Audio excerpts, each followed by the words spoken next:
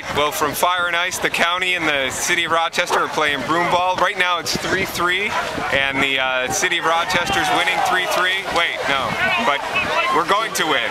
We, we've had summer events and fall events, and Michigan has a wonderful winter season.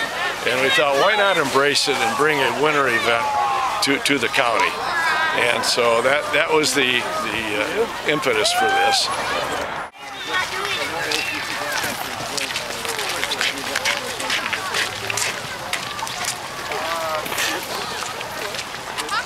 This was a lot of fun last year. We came, uh, brought the whole family out. Um, seems like it's a really well organized event. You know, it's nice to see the Park Service and the city come together to do something for the residents.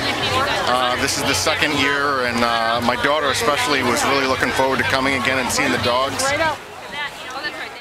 You know, it's like something that you've never done.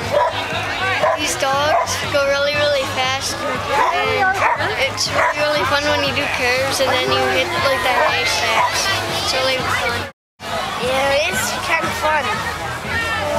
It's like I'm playing a video game.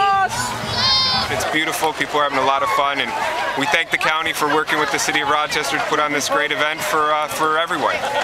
Yeah, it's a, it's a great day to get out and have fun with the kids. Great family event. This is wonderful for the businesses. That, uh, bringing 20,000 people to downtown Rochester, and it's a real community happening.